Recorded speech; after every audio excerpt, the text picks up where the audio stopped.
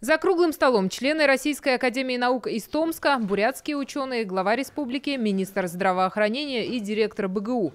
Цель этой встречи – понять, как нужно действовать, чтобы медицина в нашем регионе развивалась. Самое главное, мы понимаем, это кадры.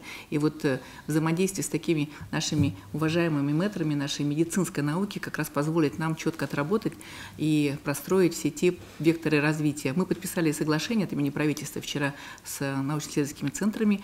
Сейчас нужно больше внимания уделять развитию психологической службы, отметил глава. Как-то повышать квалификацию э, самих психологов, которые будут работать вот с нашими вот бойцами и с их близкими. Такая тема крайне важная, причем сжатая по срокам к реализации. Еще с момента начала пандемии спрос на этих специалистов вырос, ведь люди испытывали эмоциональную нагрузку. Потому вопрос особенно актуален, как и развитие онкологической службы. Вы знаете, ситуация с онкологической патологией сегодня очень сложная, тенденция к росту, тенденция к омоложению.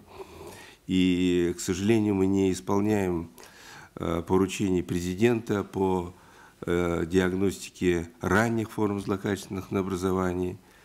Э, наверное, это и пандемия серьезнейшим образом сказалась. Нужно больше привлекать к профилактической работе не только онкологов, но и терапевтов, считают ученые. Начинать выявлять рак на этапе первичного звена.